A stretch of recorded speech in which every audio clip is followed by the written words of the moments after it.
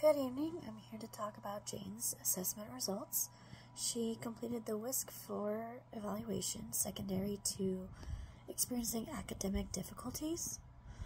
One of her most recent standardized tests indicated that she scored below average in reading, math, and language compared to her peers.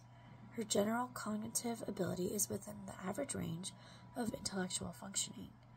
Her overall thinking and reasoning abilities exceed those of approximately 42% of children her age.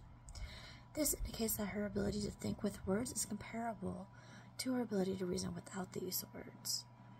Both her verbal and nonverbal reasoning abilities are in the average range, which indicates that she is producing concept formation, visual perceptions, completing simultaneous processing, and using visual motor coordination adequately for children her age. While she scored in the low average range for her memory abilities, she still scored higher than 18% of her peers. Her difficulty when asked to repeat long strings of numbers backwards is evidence of weak mental control. Now, weak mental control may make the processing of complex information more time consuming for Jane and will drain her mental energies more quickly compared to kids her age. And perhaps this explains more frequent errors on a variety of learning tasks.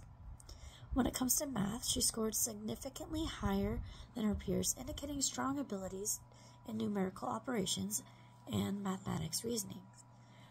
We also learned that she scored an average range, but above 20%, 27% of her peers in the processing abilities section.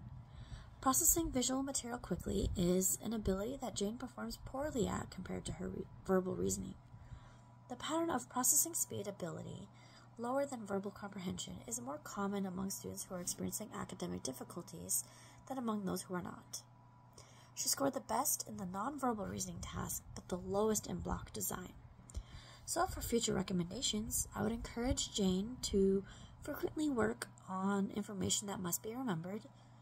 Um, I believe she may benefit from chunking information together. So instead of doing like 5, 5, 5, 5, 6, 7, 8, go with 555 dash 5678.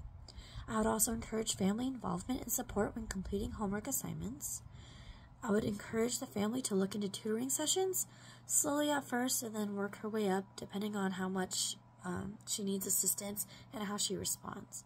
Lastly, I would recommend reevaluation within a six month time frame. Thank you for listening and let me know if you have questions.